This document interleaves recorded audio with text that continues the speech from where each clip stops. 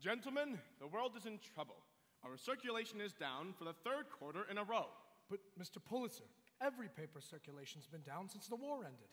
Whoever said war is hell wasn't trying to sell newspapers. We could use an exciting headline. What have we got today? The trolley strike. That's not exciting. It's epic. It's boring. Folks want to know is the trolley coming or ain't it? No one cares why.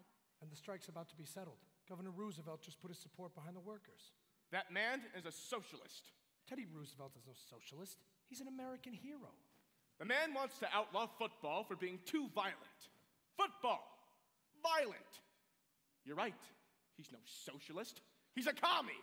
Mr. Pulitzer, can you please try to sit still? Gentlemen, you're making Nunzio nervous. And when Nunzio gets nervous, I don't look pretty. You never liked Roosevelt. You wrote an editorial against him day after day as he ran for governor. And guess what? He got elected. How can I influence voters if they're not reading my opinion? Big photos attract readers. Do you know what big photos cost? But without flashy photos or headlines, how are we supposed to sell more papers? There's an answer right before your eyes people. Nunzio knows while he's cutting my hair. Trim a bit here and then trim a bit there. Just a modest adjustment can fatten the bottom line. Shaving is tricky, the razor should float. Shave me too close, and you may cut my throat. It's the simplest solutions that bolster the bottom line. But how does that help us sell more papers? We don't sell papers, silly. Newsies sell papers. I've got it. Right now, we charge the newsies 50 cents for 100 papers. Yes, What if you raise their price to 60 cents per 100? now you're getting somewhere.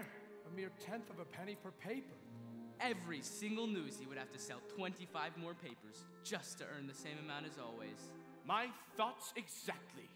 It's genius. It's gonna be awfully rough on those children. Nonsense. I'm giving them a real life lesson in economics. I couldn't offer them a better education if they were my own. Give me a week and I'll train them to be like an army that's marching to war. Proud of themselves and so grateful to me, they'll be begging to pay even more. When there's dirt on your shoes, boys, for God's sake, relax. Why throw them out? All you need is some wax. Listen well to these barbershop lessons, for they'll see you through. When you're stuck in the muck, you'll be fine. You'll erase any trace of decline.